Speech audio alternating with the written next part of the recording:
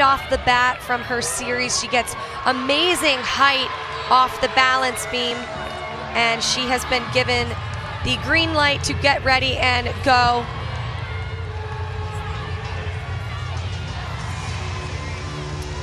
So the score is in for Naomi Morrison. It is just a 9.075. Really not what the Michigan Wolverines needed in this moment.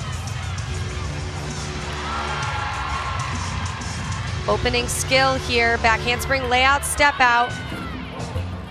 Lovely height, so confident on that landing.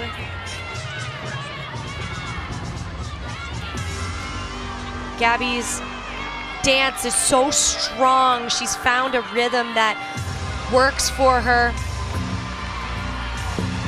Gorgeous switch leap, switch leap connected jumps very unique skill that we don't see very often, extremely difficult.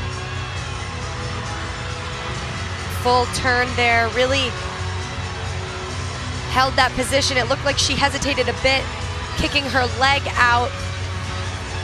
And the dismount, this is a big one. It's a double tuck, and she's been able to stick it. Oh, just a step backwards, but very nice.